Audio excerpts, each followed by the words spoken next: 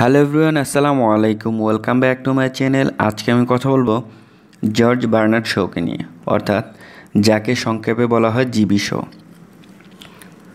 তাকে father of modern English literature বা drama বলা হয়। আর এখন যে ওনার নাটকগুলা নিয়ে যে আমি কথা বলব, এগুলা গল্পে গল্পে বলব, আশা করি আপনাদের খুব সহজেই মনে থাকবে। আমরা হচ্ছে এখান থেকে একটা ক্লু নিচ্ছি, সেটা হলো জিবি শো। শো মানে আমরা কল্পনা করতে পারি দেখা। এখন, ডক্টর ডিলেমা, তা আমরা এখানে এইভাবে বলতে পারি যে, ডক্টর কোনো প্রকার ডিলেমা না করে ডক্টর যে জন অফ আর্ক, অর্থাৎ ডক্টর জন আমরা বলতে পারি যে, ডক্টর জন কোনো প্রকার ডিলেমা না করে আর্মসের মাধ্যমে সিজার করল, কাকে? ক্লিওপেট্রাকে। আমি আবারও বলছি ডক্টর কোনো প্রকার ডিলেমা না করে আর ডক্টরকে ডক্টর জন। ডক্টর জন কোনো প্রকার ডিলেমা না করে আর্মসের মাধ্যমে সিজার করল। কার? ক্লিওপেট্রার। আর আর এই সিজার করে কি করল? শো করতে, অর্থাৎ দেখাচ্ছে সে।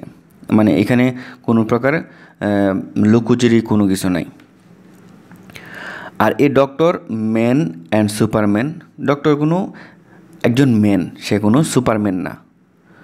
আর এই ম্যান দ্বারা এই এখানে ম্যান অ্যান্ড সুপারম্যানও বোঝানো হয়েছে, আবার ম্যান অফ ডেস্টিনিও বোঝানো হয়েছে। আর এই যে ডক্টরের যে সিজারের যে কাহিনীটা আর্মসের মাধ্যমে যে সিজার করল, এই পুরো বিষয়টা পিগমিলিয়ন সুন্দরভাবে পর্যবেক্ষণ করেছে। আর এই পর্যবেক্ষণের জন্য অস্কার পুরস্কার লাভ করেছেন। অর্থাৎ এই পিগমিলিয়ন এটির জন্য এই যে প্লেটা আছে, এটার জন্য সে অস্কার পুরস্কার লাভ করেছেন। এ হচ্ছে মোটামুটি গল্পে গল্পে জীবিষ মনে রাখা। মোটামুটি কয়েকবার পড়লে মনে থাকবে। আচ্ছা এখন এখানে ঝামেলা মুক্ত নামে আমি একটা কোটেশন দিয়েছি। এটা খুবই গুরুত্বপূর্ণ। কারণ অ্যান্টনিও অ্যান্ড ক্লিওপেট্রা যে নাটকটা, এটা লিখেছেন William Shakespeare. R the road of destiny short story লিখেছেন ও হেনরি। কারণ এখানে road of destiny, man of destiny লিখেছেন হচ্ছে GB Shaw R the road of destiny short story লিখেছেন ও হেনরি। সো, আপনি যদি এই ঝামেলা মুক্তটাকে একটু খেয়াল করেন, তাহলে আপনার এখানে মানে যে বইটা লিখেছেন, এরকম সিমিলার টাইপের যে লেখাটা আছে, এখানে নিচে আছে সো আপনার এটা ক্লিয়ার হয়ে যাবে।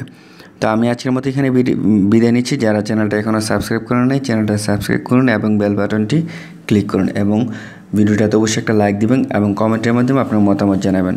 সবাই ভালো থাকুন। আসসালামু আলাইকুম।